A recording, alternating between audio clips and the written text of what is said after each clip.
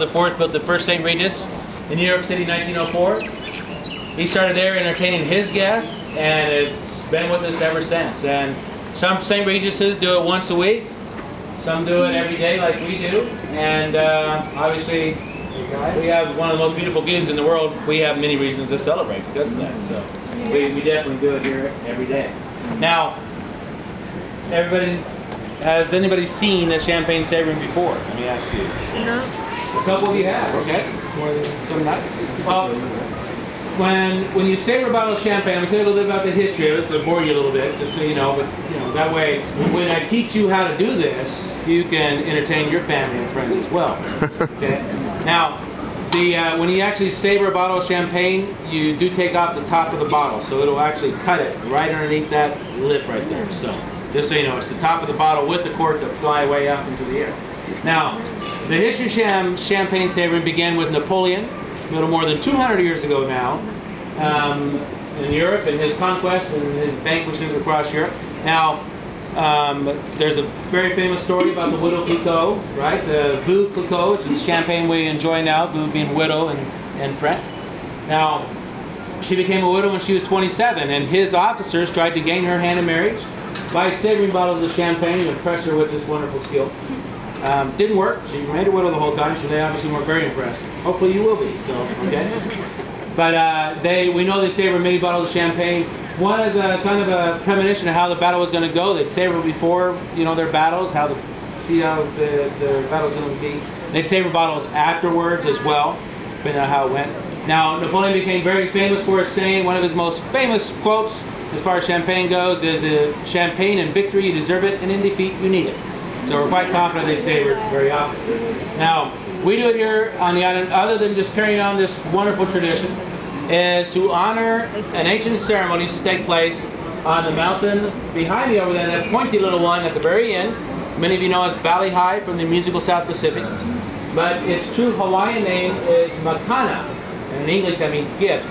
Now the reason it has this name Makana is because of the Oahi ceremony used to take place there. Now the Oahi ceremony is one of their most sacred ceremonies. They'd only celebrate if elite or royalty came to visit here on the island of Kauai from the other islands, or if a family member of the island's elite graduated from hula school near Ke'e Beach, there at the end of the road. Now it'd be a week-long celebration and it would culminate with this ceremony. And uh, to have a visual of it, after I tell it to you if you like, inside our bar at the far end you'll see a mural, and that's the painting of the Oahi. Now they prepare for the Oahi by cutting down two different types of trees. One is the hau and the other is the papala tree. Both of these trees are long, slender trunks, and their most unique property is that they're hollow inside. So once they cut them down and dried them for about eight months, they became very, very light. It allowed them to fill one end with bark that they had soaked in kukui nut oil, and voila, guess what? It's now very flammable, right? So a couple chosen kane would take their, or men, would take these, these firebrands Climb up the side of Makana up to the top, about 1,100 feet in elevation. Wait till nightfall, light them on fire, and throw them off the edge. Well, on the side of Makana that faces the ocean, it's concave, pretty much straight up and down. So those trade winds get concentrated right there, rushing up the side of Makana. So those firebrands, when they throw them, would actually be lifted up into the air, twisting and turning, before they begin their slow descent, floating back down to the surface of the, uh, the water. Now, it sometimes take up to a mile out into the ocean before they'd actually make it back down so they flow. Now, the people would paddle out in their outrigger canoes to watch this spectacle.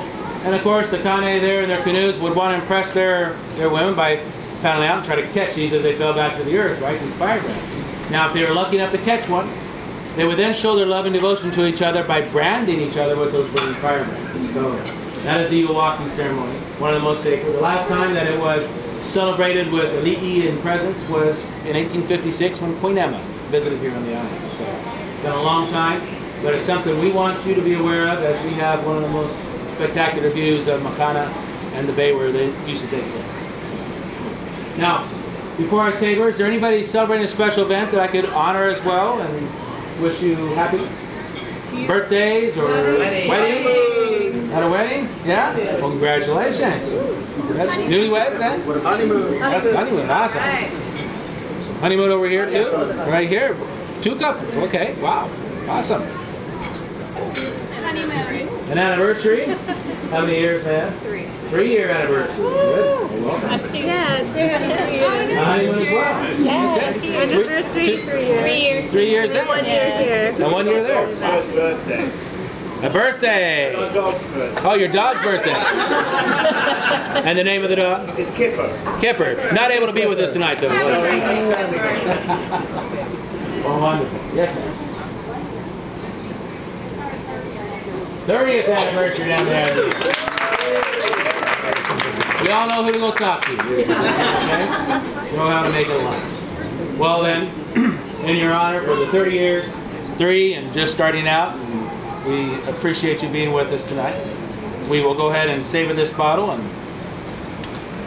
wish for a beautiful evening and a beautiful day to come tomorrow. So, from today and forevermore in Hawaiian, off with the top. No keila, amaloa. There we are.